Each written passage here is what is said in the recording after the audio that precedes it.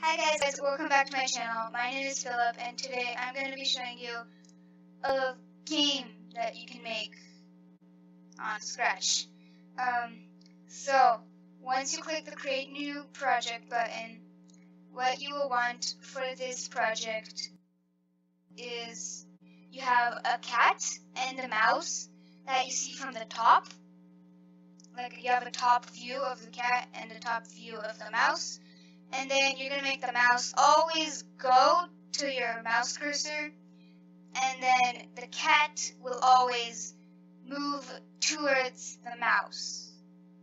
So first, let's delete this sprite because it's not from the top view and let's get a cat that you can actually see from the top. So you see you have this cat right here, you can see from the top,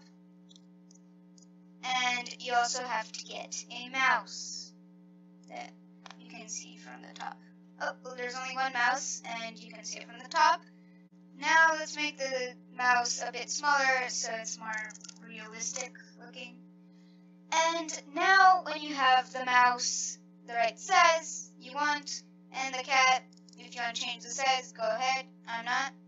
And before we start anything, let's pick a background, because it'll look better.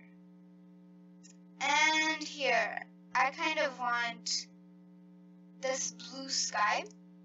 Um, of course, you can pick whatever you want, but I'm just going to go ahead with the blue sky. Now, let's make the mouse always go to the mouse cursor. So, like always, you start your program with a when green flag clicked, and we are going to be using a forever block. And whatever you put in the forever block, the code that you put in the forever block will always run. That's why it's called the forever block. And in the forever block, we're going to be putting the go to mouse pointer block. And when you run it, you see the mouse always goes to the mouse pointer. Now that we got the mouse to do what we wanted it to do, let's focus more on the cat. So, of course, like always, like I said, you get the when green flag clicked block, and we're also going to be using a forever block for this one too, because you want the code to run forever. What you put in that forever block is going to be, what you put in the forever block is the uh, point towards make sure you change this to the mouse. The mouse is called mouse 1, so you have to make it mouse 1. And then we want it to go towards mouse 1. So you get the move 10 steps. You can change the 10 steps, let's make it 5. And you see it does what we want it to do. It goes towards the mouse. Alright, now what we wanted to do, I didn't say this earlier, but I thought it would be cooler if when the if the cat touches the mouse, it the cat should say I won and everything stops and the cat won. So how you do that is you go to the control and you get this new block that I'm going to introduce. It's called the if block. And you put it right there and inside the if block, you see you have this thing you have to put. You have to put a block right there, and then you have to do, you have to put a block. If that happens, then what it does. So in that space right there, you are going to put, you go to the sensing category, and you get the touching, and then you change it, and then you change it to mouse and you put it in there, it fits, and if touching mouse 1, then, then we should say, uh, let's say I won for, I don't know, let's say 3 seconds, or 2. And when you start the code, the cat starts on the mouse, which is not good. So let's make the cat start on this side of the screen, and the mouse to start on this side of the screen. So we get the cat and get the motion category, and we get the go to x blank and y blank one block. And the x, let's say we want the x to be over here, let's round it to about 170 and then the y let's be 20 alright you put that here because if you put it in the forever block it'll always stay there. So we don't want that to happen because we want it to go towards us. And as you saw the cat starts on that edge of the screen. Let's do the same for the mouse. You get the same block. If you don't know you get the mouse over here. And you look over here. Those are the coordinates of the mouse.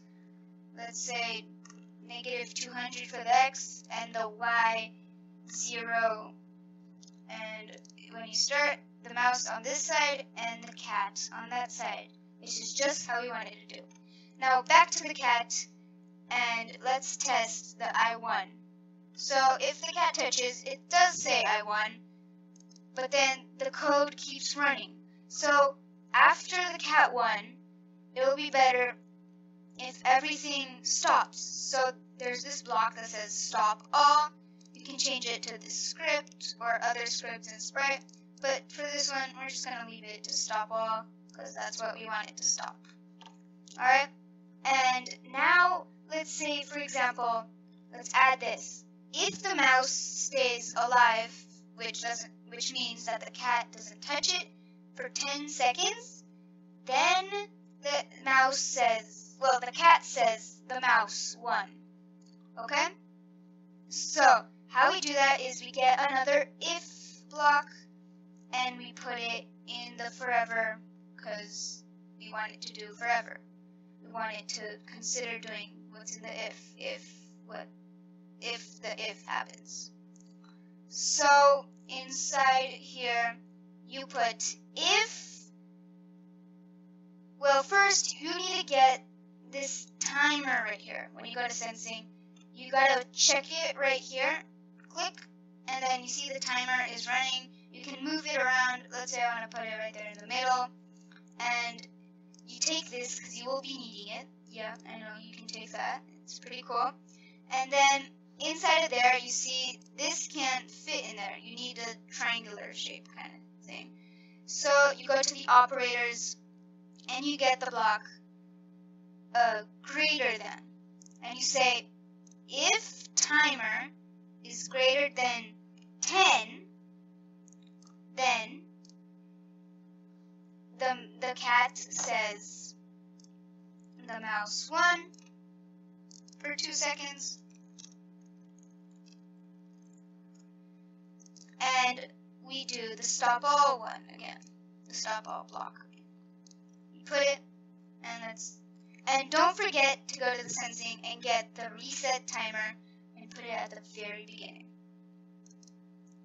And as you see, the cat is chasing the mouse. The timer's up there. It's running. You can see the milliseconds and the seconds on the timer.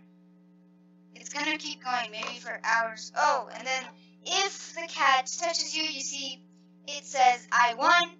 And now let's test it and see if we can stay 10 seconds alive Let's see if it does what we wanted it to do.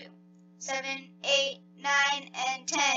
The cat says the mouse won, and everything stops.